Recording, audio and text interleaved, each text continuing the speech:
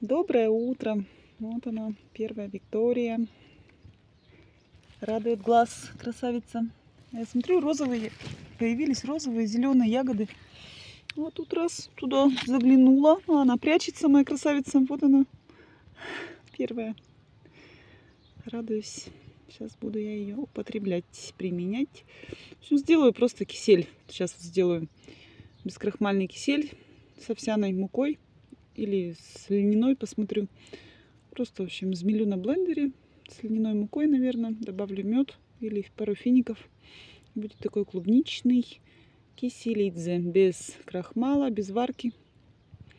Теплая вода, несколько ягод Виктории. Вот льняная мука и будет такой густой-густой кисель клубничный, целое тарелище. То есть еще пока ягод, если мало, допустим, из трех ягод можно целую тарелку сделать.